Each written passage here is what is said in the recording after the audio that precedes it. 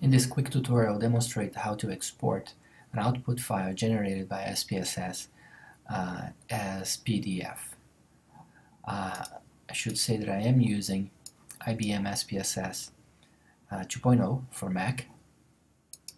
Close this. Uh, and here I could eventually um, select parts of my output or I can export uh, everything uh, that I have in my output. I'll explain both ways. Uh, let's, for the, just for the sake of this example, say that I want to export this um, portion of the output. Excuse me. You would go to uh, File after you select it, Export, and then on the very top of this window here you can select uh, what you want to export uh, or the objects to, to export all meaning it will export everything that you have on your output right now uh, or just select it. In this case I just want the selected portion. And let me move this out of the way.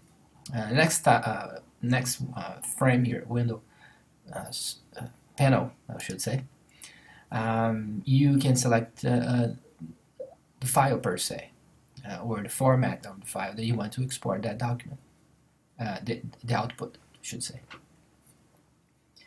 Um, in this case, it's going to be PDF.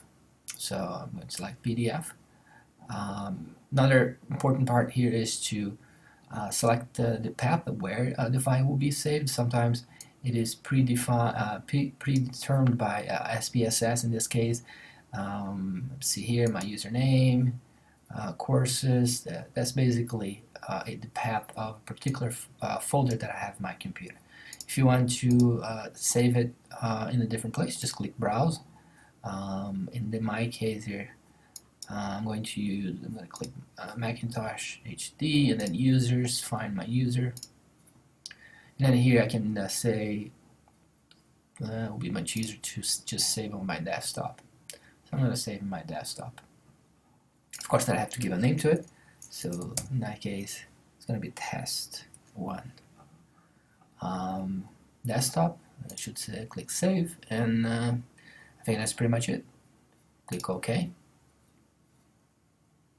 And it tells me that it is exporting. Once it's done, it should be uh, on your desktop. Uh, thanks for watching.